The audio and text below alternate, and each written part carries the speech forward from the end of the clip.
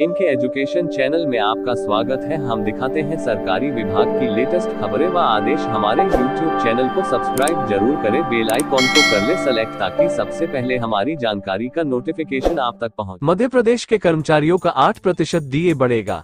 वेतन में बम्पर बढ़ोतरी। समस्त कर्मचारी शानदार खुशखबरी। मध्य प्रदेश के कर्मचारियों का आठ प्रतिशत डीए बढ़ेगा। वेतन में बम्पर बढ़ोतरी।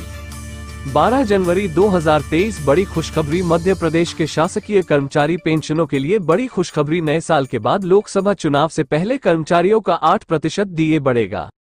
मध्य प्रदेश के शासकीय कर्मचारियों के महँगाई भत्ते की बात करें तो वर्तमान में केंद्र से चार प्रतिशत दिए पीछे चल रहे हैं। केंद्रीय कर्मचारियों को छियालीस प्रतिशत महँगाई भत्ता दिया जा रहा है। वहीं मध्य प्रदेश के कर्मचारियों को बयालीस प्रतिशत महँगाई भत्ता मिल रहा है। ऐसे में मध्य प्रदेश के कर्मचारी केंद्र से चार चार प्रतिशत दिए पीछे चल रहे हैं। एक जनवरी 2024 से केंद्रीय कर्मचारियों के बार फिर चार प्रतिशत डीए बढ़ाने की खबरें सामने आ रही है। यदि ऐसा होता है तो केंद्रीय कर्मचारी और डीए बढ़ाकर 50 प्रतिशत हो जाएगा।